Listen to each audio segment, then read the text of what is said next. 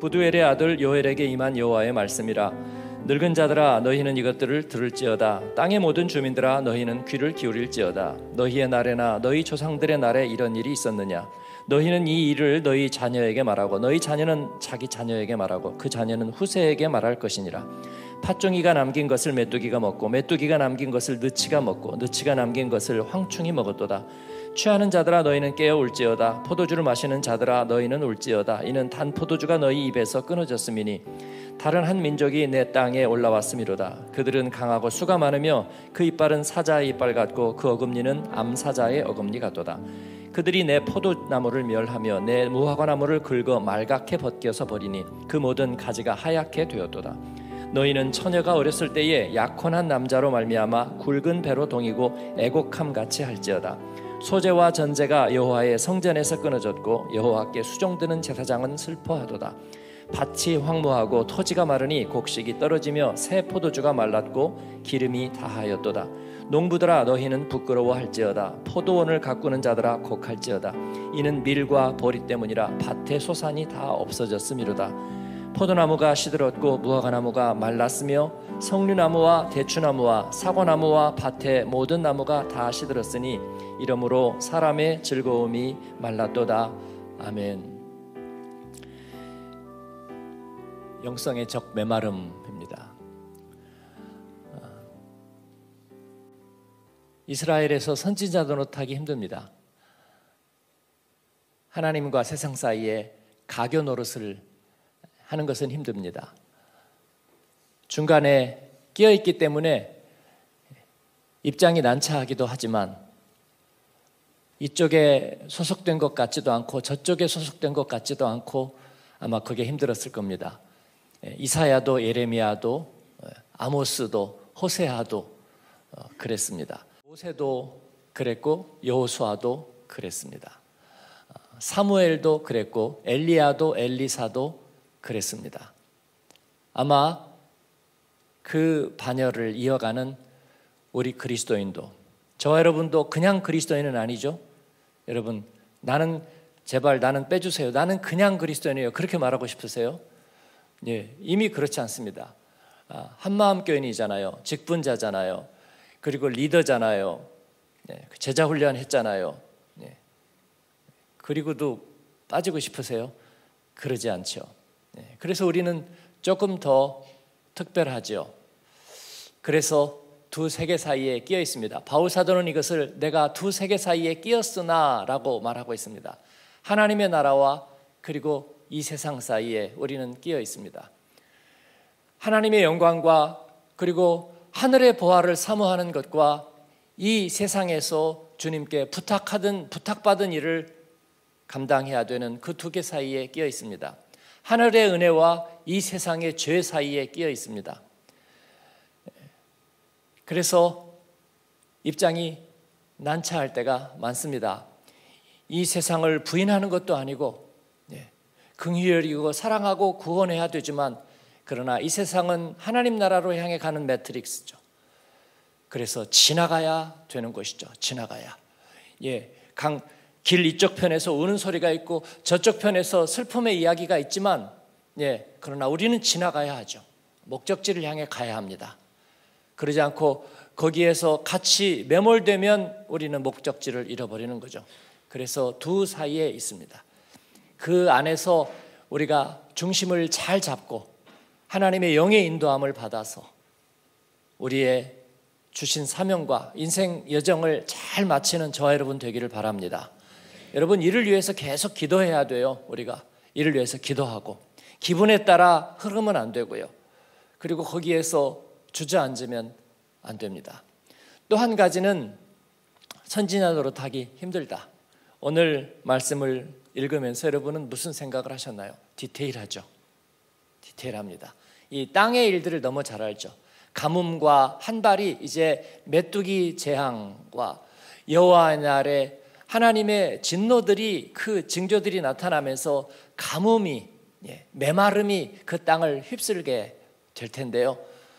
어, 그냥 방 안에 구석에 들어앉아서 아이고 어떻게 그러지 않고 이 요엘 선지자는 이 유다 땅을 곳곳이 살피고 다닙니다. 과수원을 논밭을 살피고 다니고 그리고 모든 논두렁 반이랑 사이를 다니는 것 같아요. 그래서 무엇이 마르고 무엇이 병충해를 입고 그 메뚜기의 재앙이 지나가면서 어떤 일들이 나타나고 또 가뭄과 한발이 올 때 어떤 메마름들이 이 땅을 쓰는지에 대해서 자세하게 자세하게 자세하게 얘기하고 있습니다. 포도나무, 무화과나무, 그리고 밭과 토지와 곡식, 새 포도주, 기름, 그리고 밀과 보리, 모든 예, 밭의 소산과 또 석류나무, 대추나무, 사과나무, 밭의 나무들 이 이야기들을 예, 하고 있는 거죠. 요엘은 여호와는 하나님이시다 이런 뜻이라고 어, 말씀을 드렸죠. 앞에 예, 소개에도 그렇게 나타나 있습니다. 요엘은 그러나 하나님의 그 심판과 그들의 배교와 또 그들의 예, 죄악에 대한 하나님의 공의와 하나님의 심판을 선포할 뿐 아니라 그 심판 이후에 하나님의 대안과 대답이 무엇인지를 얘기해 주는 선지자입니다. 그래서 요엘은 오순절의 선지자라는 변명을 가지고 있습니다. 사도행전 2장에서 베드로가 일어나서 복음을 말하고 주님이 하신 일을 말하면서 주님이 이제 예수님을 십자가에 못 박은 그들에게 대해서 주님께서 어떤 새로운 답을 주시는가? 예, 심판으로 끝나야 될 그들에게 우리 주님께서 예비하신 주님의 알터나티브는 무엇인가? 이를 얘기하면서 요해를 인용합니다. 그날에 오늘 우리가 어, 암송한 말씀 요엘서 2장 28절은 뭐라고 시작하죠? 어떤 시간 접속사가 나오죠? 그 후에 그 후에 그들의 죄악에 대한 마땅한 심판과 하나님의 공의가 집행되는 이후에 예, 그 후에 하나님께서 하나님의 대답을 주신다. 그것은 하나님의 영의 부으심입니다. 그 후에 누가 내가 누구에게 너희에게 무엇을 아, 너희에게 만민에게 무엇을 내 영을 어떻게 부어주리니 어떻게 부어주십니까? 예, 물 붓듯이 마치 소나기처럼 스컬처럼 폭우처럼 그리고 폭포처럼 부어주리라. 왜 그렇게 부으시죠? 아주 정신을 못 차리게 우리가 생각으로 해가지고 그거를 뭐 받아들이고 거부하고 할 수 없게 여러분 비가 장대비가 쏟아지면요 우리는 생각할 틈이 없습니다. 뭐 빗사이로 막까 뭐 그럴 틈도 없어요. 뭐 우산을 펴고 자시고 할 틈도 없습니다. 그냥 쏟아 부으면 맞는 거죠. 예, 우산을 펴든 안 펴든 비를 맞는 것입니다. 하나님의 은혜는 그런 거예요. 기쁨은 빗줄기처럼 하나님의 은혜는 폭포수처럼 하나님께서 우리에게 쏟아 부어 주시지 않으면 우리는 그 은혜 안에 살 수 없는 줄로 믿어요. 그렇습니다. 하나님은 그래서 우리에게 가랑비처럼 은혜를 주시는 것이 아니라 하나님의 폭포처럼 쏟아 부으시는 거예요. 그래야 우리가 죄악에 물들었던 우리 마음이 순식간에 씻겨져 나가고 그리고 우리의 세상에 취했던 우리들의 마음이 순식간에 각성되는 거예요.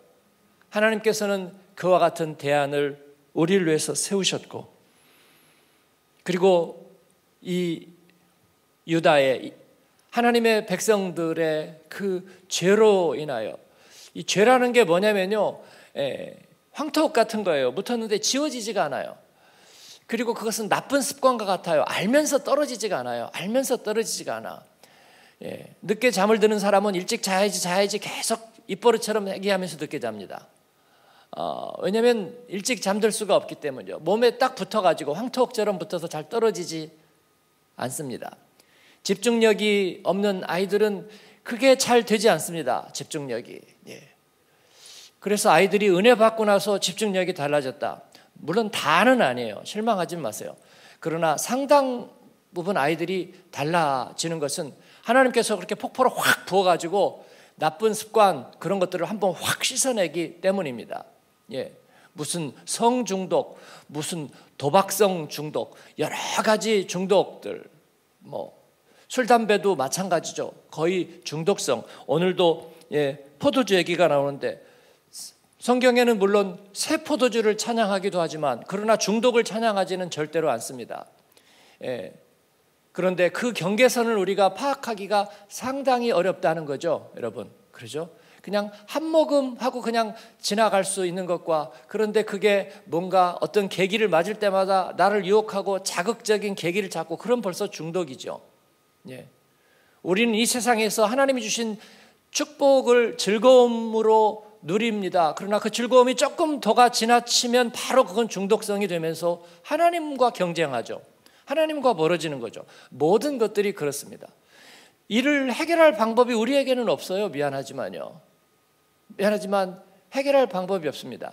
그래서 하나님께서는 하나님의 대안을 준비하시는데 그게 하나님의 영을 부으시는 거예요. 하나님의 영을 우리에게 물 붓듯이 부으셔서 가뭄을 해결하고 우리들 안에 있는 모든 갈증과 중독성과 동시에 우리들의 질병과 질고를 씻어나가게 하시는 줄로 믿습니다. 그래서 요엘은 바로 그 하나님의 영의 부으심을 그 하나님의 영이 부으실 때 우리들이 할 수 없던 일들이 나타난다 그렇게 얘기하고 있습니다. 자녀들이 장래일을 말합니다. 자녀일. 예. 장래일을 말하는 것은 자녀들의 몫은 아니죠. 그러나 자녀들에게 그러한 일들이 일어나게 된다는 것이죠. 노인들은 여러분 꿈을 꿀 수 없습니다. 더 이상요. 지나간 날들만 노래합니다. 지나간 날들. 응답하라 1988 지나간 날들만 얘기하고요. 이 리모트 메모리만 살아 있어서 자꾸 옛날 기억을 자꾸 얘기합니다. 네. 저도 요즘 자꾸 옛날 기억이 납니다.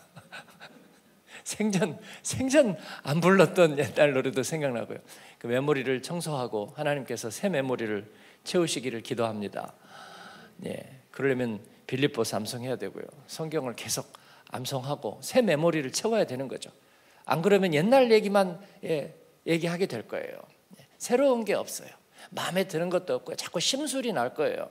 여러분 예, 하나님께서 새 영을 부어 주셔야 돼요. 그렇습니다. 그래서 늙은이가 꿈을 꾸며라고 얘기하는 거예요. 노인들이 꿈을 꾸겠다고 말하는 것입니다. 그 모습은 아름답습니다. 노인들이 꿈을 꾸는 모습을 아름답습니다. 아유 어머니 아버지 그런 얘기 뭐하러 해요 이제 그냥 잘 마무리나 하세요 그러면 안 되죠 네. 모세는 마지막까지 꿈을 꾸었습니다 그리고 비스, 느보산 비스가 봉우리에서 약속의 땅을 바라보는 그의 눈이 청청했습니다 120세에 주님 나라에 이를 때까지 예, 엘리야가 하늘 병거를 탈 때 그는 하늘의 꿈을 가지고 있었고 바울 사도는 예, 셋째 하늘의 꿈을 가지고 주님 앞으로 또 주님 앞으로 나아간 거죠. 천국을 향해서 나아갔습니다. 성도들은 하늘에서도 꿈을 꾼다는 것을 계시록이 우리들에게 보여주고 있는 거죠. 그리고 젊은이들은 이상을 볼 것이라 말했습니다. 이상. 하나님께서 열어주시는 또 새하늘과 새 땅. 그 최종적인 목적지. 그리고 완성될 모습. 이런 일들을 우리가 구체적으로 바라보고 있는 거죠. 예. 갈등하고 그리고 방황하는 것이 청춘의 몫은 아니고 젊은이의 몫은 아닙니다. 세상이 그렇게 미워하는지 모르지만 젊은이들은 완전한 설계도를 바라보면서 이를 위해서 헌신할 때죠. 하나님께서 영을 부어주시면 그런 일을 할 수 있다는 것입니다. 요엘은 우리들에게 그 성령의 약속을 하고 있는데 그 성령의 약속은 이루어졌습니다. 예, 역사적으로는 사도행전에서 오순절에서 이루어지지만 사실은 예수님의 부활과 함께 공시적으로 시간을 넘어서 시간을 뚫고 세월을 넘어서 모든 예수 그리스도를 주로 믿고 그리고 자신의 죄로 인해서 탄식하면서 그리고 목마름과 갈증에 시달리는 모든 영혼에게 하나님께서 약속하신 대로 성령을 부어주셔서 우리들의 목마름을 해가라고 우리들 하여금 빗줄기 같은 은혜를 경험하고 살게 하십니다. 그래서 우리로 장래일을 말하고 꿈을 꾸고 이상을 보게 하시는 거예요. 그런 은혜가 저희와 여러분에게 분명히 있었습니다. 또 있기를 바랍니다. 요엘은 요아스 왕의 그 통치 시대와 활동 시기가 맞아 있다 그랬습니다. 예, 그게 뭐 예, 이스라엘과 유다가 범죄하고 돌아왔다가 또 다시 넘어지고 새로운 일은 아닙니다만은 요엘 선지자가 그 모습들을 보면서 얼마나 갈증과 목마름에 시달렸겠는가 하는 것을 하나님과 세상 사이에서 이 등대 역할을 하면서 얼마나 마음이 안타까웠겠는가 그런 거예요. 여러분 이태원에서 젊은이들이 대부분의 20대 젊은이들이 154명이 숨을 거뒀죠. 어, 세상 사람들은 극도로 말조심하는 거예요. 행여라도 거기에 무슨 얘기를 했다가 정을 맞을까 생각하고 그래서 다 그냥 그냥 슬픔만 표시하고 있는 거죠. 그렇습니다. 저도 어제도 그제도 자꾸 울컥울컥합니다. 감정이입을 안 하려고 그래요. 감정이입을. 그 20대 얼굴들이 우리 아이들의 얼굴이라고 생각할 때 마음속에 밀려드는 그 막막함과 그 무너지는 절망의 체험이 내 자식이 아니라고 해서 남의 일이 되지는 않아요, 여러분. 우리는 그럴 만한 일들을 수없이 경험했고 수없이 마음에서 느끼고 수없이 불안해하고 두려워하고 있어요. 그렇기 때문에 감정이입이 너무 잘 돼요. 그래서 우리가 그런 일에 슬픔을 느끼는 것은요, 너무나 우리가 잘하고 있는 거예요. 너무나 잘할 수 있는 일이라고요. 예. 너무나 슬프고 두려워하고 고통스러워하고, 예. 그 영상들이 SNS로 막 돌았대요. 돌았는데 그 자리에 있었던 사람들이 트라우마에 시달린다. 그건 너무 당연한 일이고요. 그리고 그 영상을 어, 떻게인가 본 사람들도 트라우마에 시달린대요. 예. 그러지 않겠습니까? 그러나 사람들이 숨죽이고 얘기하지 않는 것 중에 하나는 뭐냐면요. 그 가운데 죄의 유혹과 중독성이 있었다는 거예요. 있어요, 없어요, 여러분? 예. 물론 순진무구하게 그냥 친구 따라 장에 가고 한번 그냥 가본 건데 그게 뭐 잘못이냐고. 그렇죠. 우리는 그것을 탓할 생각이 없습니다. 예. 고난 당하고 어려움 당한 이들에게 그걸 탓한다는 것은 가혹한 일이죠. 그러나 그 가운데 죄의 유혹이 예, 그 끈끈이 끈끈이 주것 같은 죄의 유혹이 있다는 건 분명하잖아요, 여러분. 예, 우리는 그 두 사이에 끼어 있는 거예요. 그래서 대안은 뭘까요? 예, 하나님의 방법이 아니면 안 되는 거예요. 하나님의 영에 부심이 있지 않으면 안 되는 거예요. 우리가 이래서는 안 됩니다. 이렇게 해야 됩니다. 그런 것 가지고는 더 이상 답이 되지를 않아요. 정말 우리 자녀 중에 하나가 만에 한 번, 십만 번에 한 번, 그냥 딱 한 번 어떻게 하다가 나도 한 번쯤은 가볼까 했다가 어려움을 당할 수도 있는 거잖아요. 네. 그렇기 때문에 이 남의 일 같지 않은 이 일들을 그러나 그 가운데 이 세상이 주는 죄의 중독성과 세상의 즐거움이 우리들을 유혹해내는 그 유혹의 힘이 있다는 걸 우리가 알아야 하고요. 그러면 어떻게 해야 될까? 우리는 어디 어디를 피해서 살아야 될까? 아니죠. 하나님의 영의 인도함을 따라 살아야 되는 줄로 믿습니다. 하나님의 영의 인도함을 따라도 어려움은 있을 겁니다. 재난도 있을 거고요. 또 세상 살면서 반석 위에 세운 집에도 비가 오고 물이 나니까 그런 어려움이 있을지도 모릅니다. 그러나 그러기 때문에 우리는 주의 성령으로 충만해야 됩니다. 여인들에게 이 이야기를 얘기해 주고 있어요. 요아스가 어떻게 왕이 됐습니까? 그 할머니 이상한 할머니 아달랴의 정말 그 학살과 그 모든 정말 예, 정상적이지 않은 그런 학정을 피해서 6년을 제사장에게 숨어서 여호야다에게서 숨어 지냈고 그리고 간신히 간신히 왕이 되고요. 그리고 종교 개혁을 일으키잖아요. 그런데 제사장이 죽고 자기의 후견인이 죽고 또 세월이 지나면서 마음이 느슨해지면서 그도 우상숭배에 또 빠집니다. 하나님께서 그리고 선지자를 죽이고요.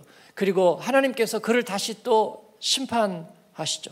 이 모습을 요엘이 보고 있는 그의 마음이 목이 마릅니다. 목이 마르고 그리고 그들을 향해서 다시 하나님의 심판을 선고해야 되는 그의 목이 마르고 그의 몸이 바짝바짝 타는 것 같습니다. 그리고 하나님은 그들에게 실제로 이 가뭄의 심판을 내리시는 거예요. 심판은 죽이기 위해서가 아니라 다시 살리기 위해서이죠. 여러분. 그래서 그들에게 메뚜기 때에 심판이 임하고 그리고 가뭄에 그래서 포도나무와 무화과나무와 석류나무와 대추나무와 밭과 거기 노는 없죠. 예. 밭과 과수원과 모든 곡식들이 다시 엘리야 때 하나님께서 하늘의 문을 닫고 3년 동안 비와 이슬이 없던 시절과 같이 그들에게 가뭄이 임하는 거예요. 주님께서 그런 가뭄 속에서 그러나 여엘은 꿈을 꾸는 거죠. 하나님의 이상을 보는 거죠. 주님이 이루실 일을 보는 것입니다. 대안은 하나님의 성령이 임하시는 거예요. 하나님의 영이 우리 안에서 해골과 같이 된 우리들을 다시 이렇게 세우시고 우리들에게 다시 힘을 주고 우리들에게 다시 이상을 말하게 하시는 거예요. 그래서 우리가 하나님의 말씀을 붙들고 하나님의 영을 구하고 주님이 이루시리를 바라보아야 되는 줄로 믿습니다. 그렇습니다. 우리의 젊은이들은 어떻게 할 겁니까? 다음 세대를 어떻게 할 겁니까? 예. 아이들이 체육관 앞에서 공연장에서 여러분 숨이 막힐 듯이 몰려 있는 것은 그래가지고 순간순간 실신하면서 항상 공연되면은 아이들 실어가지고 머리로 날르잖아요. 예, 그게 잠재적인 우리 아들과 딸들이잖아요, 여러분. 네. 그런 일들은 얼마든지 있습니다. 물론 즐거워요. 젊음의 표이기도 하고 누릴 수 있는 낭만과 권리이기도 합니다. 하나님께서 그것도 주셨습니다. 그러나 그들이 어디까지 가버릴지는 우리가 알지 못하는 거예요. 어디까지 가버릴지는요. 한국은 세계적인 마약 국가가 되었습니다. 마약 청정 지역은 예전역에 아니고요. 예. 마약 국가가 됐습니다. 하나님께서 가난한 나라 축복하셨어요. 왜 축복하셨을까요? 부지런하고 근면하고 그런데 그냥 부지런하고 근면하고 정직한 백성은 세상에 어디에도 없어요. 저는 하나님께서 복음을 심으셨기 때문이라고 그래요. 뭐, 교회가 타락했다. 그리스도인이 제대 역할을 못한다. 그러지만요. 그런 사람이 100명 중에 한 명 있다면 99명은 바로 쓴 거예요. 우리 어머니 아버지를 봐도 장인 장모님을 봐도 우리가 아는 어떤 사람들을 봐도 진실하고 보이지 않는 하나님 앞에 마음의 중심을 가지고 예, 물질에 노예되지 않고 그렇게 산 사람들이 수도 없이 많아요. 구름과 같은 증인들이 있어요. 그런 그들이 한국 경제 부흥의 주역들이 됐다고 저는 믿어요. 분명히 그렇습니다. 예.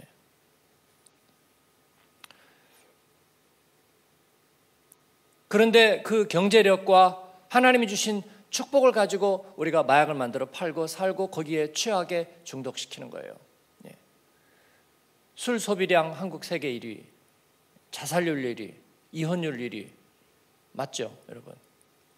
그리고 이제 마약 판매도 등수 안에 들게 될 것 같아요. 하나님이 축복해 주신 축복의 힘으로 그 경제력으로 여러분 우리가 세상에 중독되는 거예요. 여러분 이것은 반드시 끝을 내게 될 거라는 것입니다. 네. 하나님께서는 이것을 그냥 놓아 두실 수는 없잖아요. 그냥 놓아 두실 수는 없잖아요. 그래서 분명히 이것은 심판에 이르게 될 거고요. 그러나 그러면 하나님의 백성이 우리가 하나님의 말씀을 받고 우리가 4천만일 때 천만 명이 그리스도인이라고 그랬어요. 근데 그 천만 명 중에도 이 서구나 전통적인 그 기독교 복음이 들어갔던 나라들의 비교가 안 될 정도로 순도가 높은 거예요. 예를 들어서 이집트나 그리스에 러시아의 정교회가 있다. 뭐 곱틱 러시아 정교회 그죠? 아르메니아 정교회 얼마나 순도가 높겠어요. 예배는 드리지만 말씀에 대해서는 전혀 몰라요. 전혀 몰라. 말씀에 대해서는. 네. 예. 아프리카에 복음이 전해졌는데 예, 찬양과 리터지에 강하지만 그들이 말씀을 잘 몰라요. 목회자들도 말씀을 잘 몰라요. 말은 청산유수처럼 잘하고 기도도 잘하는데 예, 그런데 말씀에 대해서 잘 모르는 거죠. 유럽의 기독교는 어땠을까? 역시 비슷하다고 생각해요, 여러분. 예. 그런데 우리 한국 기독교가 4천만에 천만 명이 개신교인이라고 말할 때 말씀의 순도가 높은 거예요. 말씀의 순도가. 물론 다는 아니죠. 그러나 말씀의 순도가 높았어요. 그런 백성을 이제 경제가 부흥하면서 이 세상 유혹을 따라 세상 통제를 따라 이 세대가 그렇게 간다고 할 때 하나님께서는 심판하시면서 다 쓸어버리시겠는가? 그렇지 않죠. 하나님의 그루터기를 찾아서 주님께서는 다시 이렇게 세우실 줄 믿습니다. 우리는 중간에서 그래서 입장이 난처해요. 우리 우리 조국과 또 우리 아들 딸들을 우리가 비난하고 욕하기도 그렇고 말이죠. 그렇죠? 네. 그렇다고 하나님 눈치를 안 보고 그냥 하나님 아유 괜찮잖아요. 다이 정도는 하고 살아요. 그냥 우리가 잘할게요. 그리고 넘어갈 수도 없잖아요. 하나님의 공의와 하나님의 뜻 앞에서 그렇습니까? 그렇지 않습니까? 예. 그래서 우리는 그 가운데 껴 있지만 그러나 하나님께서는 우리들에게 말씀하시는 거예요. 하나님의 영에 의해서 내가 이 땅을 새롭게 하리라. 이를 위해서 우리가 기도하고 이를 위해서 그리스도의 사람을 세우고 우리가 하나님 앞에 서야 될 줄로 믿습니다. 여해를 읽으면서 여러분 여헬의 그 가슴의 답답함과 가슴의 목마름을 우리가 같이 나눌 수 있기를 바랍니다. 그리고 하나님과 예수님의 그 목마름을 이해할 수 있기를 바라요. 제가 청소년 때 처음 은혜 받고 하나님 앞에 예, 기도의 문이 열렸던 게 요한복음 4장의 말씀이에요. 제가 예, 엊그제도 우리 교육자들과 그 얘기를 했는데 어, 우리 청소년들이 은혜 받은 거 말이죠. 네. 은혜 받고 지나가고 또 그리고 나서 그냥 옛날로 돌아간 것 같은 근데 돌아가지 않았다 제가 그 얘기를 한 거예요. 왜냐하면 저도 그리고 나서도 또 잊어버리고 이렇게 돌아가기는 돌아간 듯이 했지만 그러나 잊혀지지 않았어요. 제가 말씀을 들었던 것은 그때 어, 조효영 목사님이라는 고등학교 교목하던 분이었어요. 그분이 강사로 오셔서 말씀을 전하셨는데 그 시골 학교 강당에서 어, 빌려가지고 이제 수련회를 하는 그 강당의 모습과 서 있던 목사님 모습과 코가 꼿꼿이 약간 빨간 모습 그리고 빨간 계열의 넥타이 맺은 것까지 다 생각이 납니다. 아주 수수십 년 전 이야기죠. 예, 그러면서 그때 예, 목마름에 대해서 얘기하셨어요. 사마리아 여인의 목마름에 대해서 얘기하고 제자들의 목마름에 대해서 얘기하고 그리고 예수님의 목마름에 대해서 얘기했어요. 그래서 제목이 삼종의 기갈이었습니다. 어, 지금 생각하면 그렇게 뭐 막 경험적이고 너무나 애화가 풍성한 그런 설교가 전혀 아니었습니다. 지금 생각해 보니까 제가 설교자로서 생각해 보니까 그냥 설교였어요. 그러나 저는 그 가운데 주님 만났고 하나님의 음성 들었고 말씀 들었어요. 그리고 이렇게 이렇게 멀미가 나고 뭔가 이렇게 체했을 때 속이 막 욱욱 하는 거였죠. 막 계속 그렇게 막 느껴지는 거예요. 막욱욱욱욱욱욱욱욱욱 하고 그래서 이걸 어떻게 할 수가 없었어요. 그래가지고 저녁에 10시쯤 끝났는데 예, 강당 위편으로 올라갔어요. 강당 위편에 옛날에 보면 왜 그 공간이 좀 있잖아요. 네. 아이들은 이제 방으로 다 자러 가고 그 친구 세 명하고 제가 어, 갔습니다. 걔들도 그런 마음이 들었는지 안 들었는지 제가 모르겠는데 어, 내가 이게 몸이 안 좋은 건지 잘 모르겠어요. 네, 그때는 멘토가 없었어요. 누가 멘토가 없었어요. 그런 일이 있으면 아 그렇구나 하고 이렇게 바로 끌어주는 뭐 그런 게 전혀 없어요.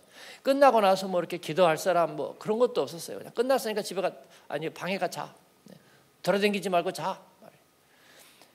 거기에 올라가서 기도를 10시쯤 된 것 같아요. 기도하고 눈 뜨니까 새벽 5시예요. 한 7시간, 7시간 정도, 6시간 반, 7시간 기도한 것 같아요. 그냥 그냥 욱욱욱 하다가 터져 가지고 기도했는데 그 정도. 예, 그때가 예, 사마리아 여인 이야기고요. 예, 삼종의 기갈 얘기, 그 목마름에 대한 얘기였어요. 뭐 제가 그렇게 목마르며 살아본 것 같지는 않아요. 그러나 하나님 말씀이 들어오니까 그런 일들이 경험하게 됐어요. 아이들에게도 우리 그런 경험들이 분명히 있다고 생각해요. 예, 그 감성이 점점 아이들이 일찍 열리면서 더 이른 나이에 예수님 만나고 그런 그런 신앙 체험을 하는 것 같아요. 예, 우리가 이를 귀하게 여겨야 될 줄 알아요. 또 그러다가 나중에 이 여시아처럼 다시 또 우상 숭배하고 그렇게 될 수도 있어요. 예. 여러분 우리 한국 교회와 기독교가 다시 그 자리로 조금 배가 불러서 세상에 취해서 그렇게 돌아가지 않도록 우리가 깨어 있고 기도해야 될 줄로 믿습니다. 하나님께서 마지막 싸움은 곡과 마곡에서 승리하실 것입니다. 그리고 아마겟돈에서 승리하시고 또 두 짐승과 용과 음녀를 무지경에 놓고 그리고 주님의 나라를 이루어 가실 거예요. 우리는 이를 꿈꾸고 그리면서 주님의 성령을 우리의 목마름을 주님께서 풀어 주시옵소서. 예, 돈으로 할 수 없잖아요. 예, 뭐 성도들이 나눔에서 그렇게 여러 개 썼더라고요. 예, 하나님 바라보고 우리가 천국을 향해 가면서 뭐 노후 보장 제가 보니까 여러분들 정도 되면 뭐 노후 보장 걱정 안 해도 그냥 잘 사실 것 같아요. 예. 그럼에도 불구하고 세상 사람들은 그보다 훨씬 더 정밀하게 설계를 하니까 그런 거죠. 어디다 뭐를 놔두고 어떻게 하고 다 계산해서 뭔가가 이게 맞아야 맞아야 된다고 생각하는데 우리 그거 안 하고 사니까 뭔가 약간 불안하고 뒤처진 것 같지 않냐? 아닙니다. 아침 안개와 같은 인생이 순식간에 흘러갈 터인데 주님 의지하고 살면서 우리가 세상적으로 예, 비천해지지 않을 겁니다. 우리는 그 믿음을 가지고 있습니다. 할렐루야. 그렇습니다. 우리 믿음의 부모들이 그랬고 또 우리가 그렇습니다. 우리 자녀들에게도 그런 배짱과 믿음을 우리들이 전승할 겁니다. 하나님 앞에 그 믿음을 가지고 주님 위해서 살면서 우리가 이 세상에 살면서 주님의 이름으로 품위 유지할 수 있도록 하나님께서 축복해 주실 거예요. 주님의 이름으로 섬기고 베풀고 흘러가게 하고 나누기에 충분한 일들을 우리 주님께서 우리에게 맡겨 주실 겁니다. 주님, 내가 그런 준비가 되었으니까 맡겨 주세요. 내가 주님의 이름으로 흘러가게 하겠습니다. 저에게 그런 배짱이 있고 여러분에게도 그런 배짱이 있는 줄로 믿습니다. 네. 하나님께서 우리를 그렇게 축복하셔서 우리의 목마름을 아시고 오늘 또 더할 것 같이 우리 안에 끌어나는 그런 이 세상과 하나님 사이에서 우리가 가지는 목마름을 성령께서 채워주시고 우리의 기도에 주님께서 그렇게 채워주셔서 응답하시고 걱정 마라. 네가 축복하는 사람 내가 축복하마 그러니까 마음 놓고 예 수표를 써라. 내가 뒷감당하겠다. 주님 우리에게 그렇게 감당하십니다. 여러분 축복의 수표 끊어주시고요. 중보의 기도 끊어주시고 그리고 아이들을 축복하시고 남편과 아내를 축복하십시오. 예, 불편한 마음으로 살지 말고 주님 앞에 선포하면서 사십시오. 주님께서 우리에게 그 영의 소원을 들어 주시리라. 성령께서 우리의 마음을 감찰해 주시리라. 그렇게 믿습니다. 이 메마른 땅을 다시 새롭게 하소서 그 은혜가 저와 여러분에게 있기를 축원합니다. 아멘.